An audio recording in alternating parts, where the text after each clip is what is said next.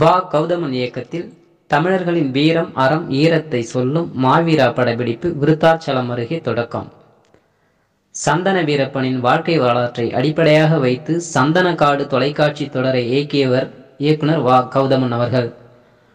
மண் மணமிக்க திரைப்படங்களை தமிழுக்கு தந்துள்ள படைப்பாளியான வா கௌதமன் கனவே கலையாதே மகிழ்ச்சி திரைப்படங்களுக்கு பிறகு கதை திரைக்கதை எழுதி இயக்கும் படத்திற்கு மாவீரா என்று பெயரிடப்பட்டிருக்கிறது.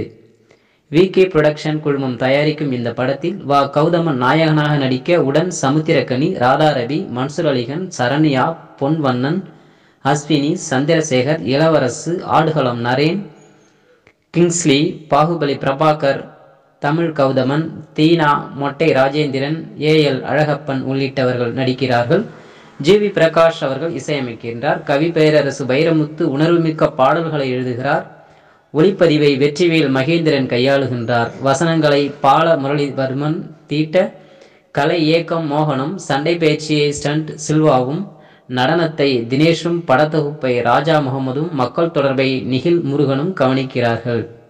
வி கே புரொடக்ஷன் குழுமம் தயாரிக்கும் மாவீரா திரைப்படத்தின் திரைப்பட தொடக்க விழா கடலூர் மாவட்டம் விருத்தாச்சலம் அருகே உள்ள விஜயநாகரம் முனீஸ்வரன் கோவிலில் நடைபெற்றது. தமிழர்களின் வழிபாட்டோடும் வரலாற்றோடும் வாழ்வோடும் பின்னி பிணைந்த தமிழ் கடவுள் முருகன் வள்ளலார் வள்ளுவர் ஆகியோர் படங்களுக்கு வழிபாடு செய்து படப்பிடிப்பு தொடங்கியது. வி கே புரொடக்ஷன் குழுமம் நிர்வாக தயாரிப்பாளர்கள் கிருஷ்ணமூர்த்தி குரலமுதன் உமாதேவன் கிரியாடெக் பாஸ்கர் ஆகியோர் குத்துவிளக்கேற்றி தொடங்கி வைத்தனர்.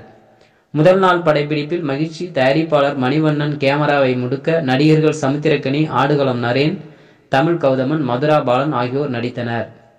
இந்த திரைப்படம் குறித்து இயக்குனர் வா. கௌதமன் கூறும்போது இப்படம் தமிழர்களின் தொன்மை மிக்க வீரம் அறம் ஈரத்தை சொல்வதோடு படம் பார்க்கும் ஒவ்வொருவரையும் தங்கள் திரைப்படத்தோடு தொடர்புபடுத்திக் கொள்ள செய்யவும் வகையில் அனைத்து தரப்பினரையும் கவரும் மண்ணதிரும் ஒரு மாபெரும் வெற்றி படைப்பாக இருக்கும் என வானால் லட்சியம் தமிழர்களின் வரலாற்றிலிருந்து பிரிக்க முடியாத சந்தனக்காடு முந்திரிக்காடு வன்னிக்காடு பகுதிகளில் வாழ்ந்த மாவீரர்களின் வரலாற்றை உலகிற்கு ஒரு தரிசனமாக சமரசமில்லா படைப்பாக்கி தருவது மட்டும்தான். சந்தனக்காட்டு மாவீரன் வீரப்பனை படைத்து விட்டேன். இது முந்திரிக்காட்டில் வாழ்ந்த மாவீரர் ஒருவருடைய வாழ்க்கை வரலாறாகும். அடுத்து வன்னிக்காடு மட்டுமே மீதமுள்ளது. அத்துமீறினால் யுத்தம் என்கிற இலக்கோடு மண்ணையும் மன மானத்தையும் காத்த ஒரு மாவீரனின் வீரல வரலாறே மாவீரன் திரைப்படம். தமக்கு மேலானவர்கள் யாரும் இல்லை கீழானவர்கள் யாரும் இல்லை என்ற சமத்துவத்தோடு எல்லா மக்களையும் சமமாக பாவித்த அதே சமயத்தில் அத்துமீறினால் யுத்தம் என்கிற இலக்கோடு மண்ணையும் மானத்தையும் காத்த ஒரு மாவீரனின் வாழ்க்கை வரலாறு இது. தமிழினத்தை அழிக்க நினைக்கும் கூட்டங்களுக்கு இப்படைப்பு பதில் மட்டுமல்ல மிக சிறப்பான பதிலடியும் கொடுக்கும் என்றார்.